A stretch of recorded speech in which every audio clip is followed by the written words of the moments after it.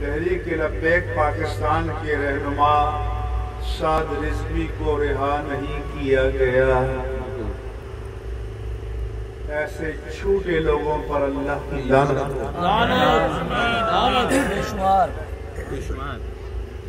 ऐसे हुक्मरानों का क्या एतबार है? और वज़ीर दाखिला कहता है कि कोई आएगा तो हम निमट लेंगे। क्या खबर कि कुदरत तुमसे पहले निमट ले?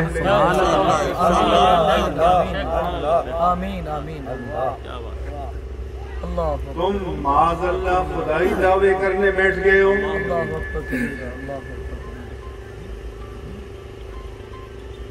इसलिए इनको तो मुस्ताफी होना चाहिए। बेशक बेशक।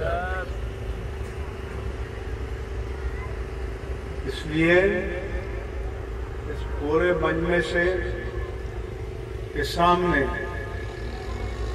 मैं मुतालबात रखता हूँ।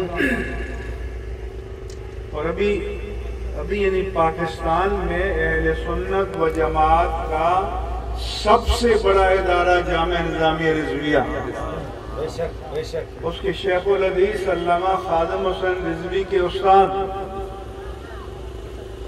वो लाहौर में नहीं थे और उनके खिलाफ दहशत गर्दी की एफ़ आई आर दर्ज की गई है।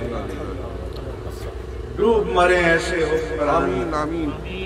ऐसे कज्जाब और झूठे हुक्मरान।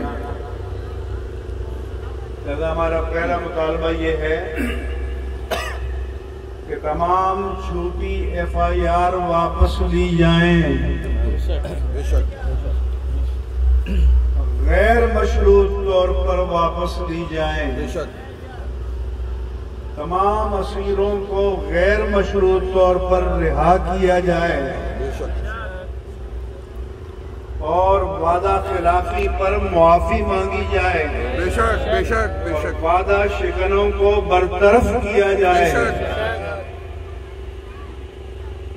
और जो उलमा पर शेड्यूल फोर लगाया है उसको गैर मशरूत तौर पर वापस लिया जाए।